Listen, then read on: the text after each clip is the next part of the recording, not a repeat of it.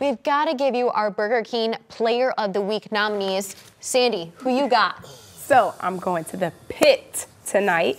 I'm going with Rashad Craig, number one, the senior. He finished with 15 points tonight. He said himself in his interview he did not want to go out without getting a win over mm-hmm. St. John's. And he was phenomenal and a, a huge offensive threat tonight for St. Francis. And he did just that. They got the dub. Dion, you're switching things up. Who you got? Ooh, you know what? I have a taste for Frickers, particularly the one out in Sylvania. But I'm gonna go by there and I'm gonna go to Northview and we're gonna go with hockey tonight. That's right, Griffin Muir. He hit the game-winning goal in overtime that could potentially send these guys to the state. Take a look at this. This was outstanding. Oh, it was so jumping, the ice. You, you, already saw it. It was out of Tam-O-Shanter.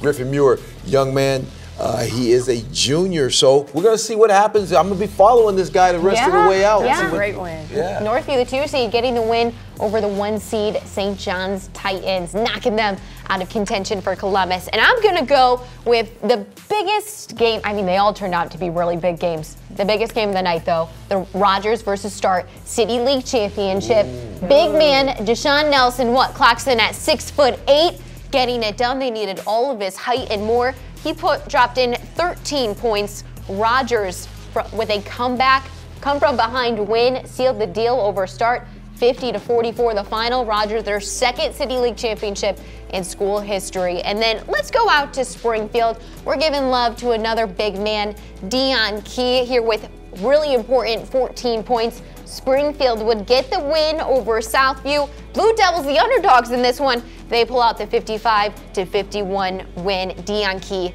a large part in that.